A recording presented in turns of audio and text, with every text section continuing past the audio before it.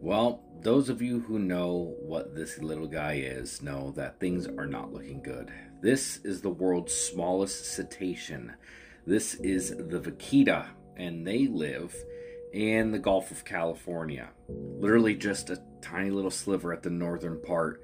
Um, there's only 10 known left.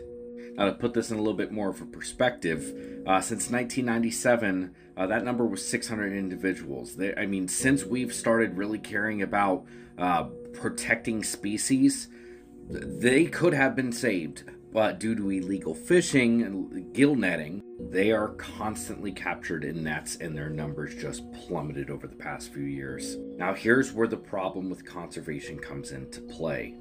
If you have a country that does not care about cons- conservation, there's absolutely nothing you can do, especially from a species that only lives in a small area.